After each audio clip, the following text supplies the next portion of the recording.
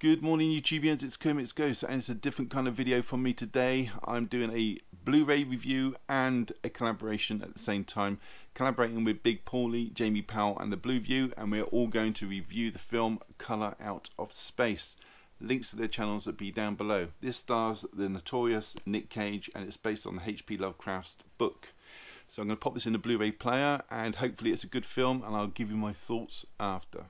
So on the Blu-ray, you get a lovely mauve menu, and it's interesting to note there are no special features. You get play movie, scene selection, and setup, and that is all. And I'd like to add, we don't often get Nicolas Cage movies released on Blu-ray anymore in the UK. Usually they go straight to DVD.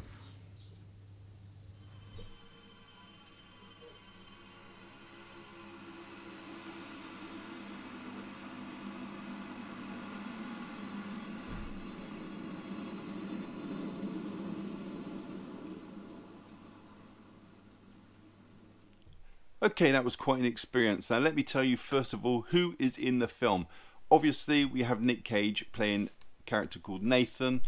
Joely Richardson is playing his wife Teresa. He has three children. Madeline Arthur, I think that's how you say her name, is Lavinia. You've got uh, Brendan Meyer who plays Benny. Julian Hilliard, who plays Jack, as his children. You've also got a character um, played by Elliot Knight. He is called Ward. He's a hydrologist. We will come to him later. And that's pretty much all the characters you need to know in the film. Plot-wise, we find out that Nicolas Cage and his wife and children have moved from the city to the countryside uh, to live off the land. They've got alpacas and they're drinking the alpaca milk and they're growing vegetables because we find out that the wife had cancer or still has cancer and they're just trying to live the clean life. The eldest daughter is practicing Wicca, which is a form of witchcraft, and the opening scene of the film, she is doing a ritual to try and pure uh, to try and cure her mother of any cancers.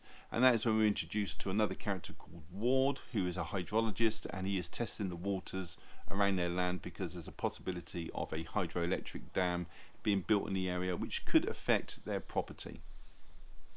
Later that evening, there is a purple hue in the sky and a loud crash, and you find out that a meteorite has landed on their front lawn. They investigate. Uh, Nicolas Cage is affected by the smell. He's the only one that is affected by it, and it all starts to affect them differently. Later on in the film, we're introduced to another character that really doesn't have much bearing other than like comic effect. He is a squatter that's living on their land. He's called Ezra. He has a cat called G Spot. And he's there, I think, for comic relief and a bit of quirkiness. But bear in mind that Nicolas Cage is in this film. You've got all the quirky that you need. Plot wise, I will leave it there because if I go any further, you're going to go into spoiler territory. And I don't want to do that acting wise in this film, well, to be fair, if you're going up against Nicolas Cage, you're kind of at a disadvantage because he overshadows everybody in the room. That being said, I would say that Joely Richardson's part was pretty either poorly written or poorly acted. Her character just seemed unbelievable. Um, probably the best character for me was Ward, the hydrologist. I thought he had uh, the best lines and he was the most believable. So what did I think of the film? Well, it's an hour and 51 minutes and the pacing was pretty good, I thought. Obviously at the start you get character development, but after that it picks up the pace nicely. Sound-wise, I have a surround system with a sub and there are two key elements to the film. I think uh, the meteorite landing, which is full of bass, which was nice, and the ambient noise in the ending, um, lots of detail within that. Picture quality was beautiful. This was so crisp and clear and even in the dark scenes you could pick out lots of details. Effects wise they definitely use CGI. As to whether or not they use practical I'm not sure because there's no extras on the disc. I think they do though. Uh, there was a couple of scenes I'm pretty sure they use practical and it does look good no matter what. All the effects are brilliant in this film. Did it entertain? Well, in short, yes it did. Now it's billed as a horror, fantasy, sci-fi. Fantasy and sci-fi I can see you have creatures, that are new. You have time, space altered, but horror side, I don't see it at all. I scare easily at horror films, and this didn't affect me in one way whatsoever.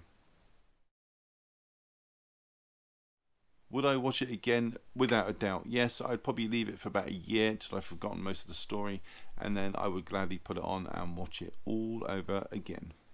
So that is my review of Color Out of Space. Now you can see why I don't do this normally on my channel. Uh, thank you so much for watching. I really do appreciate it. And check out the other guys that are doing the same review of the same film.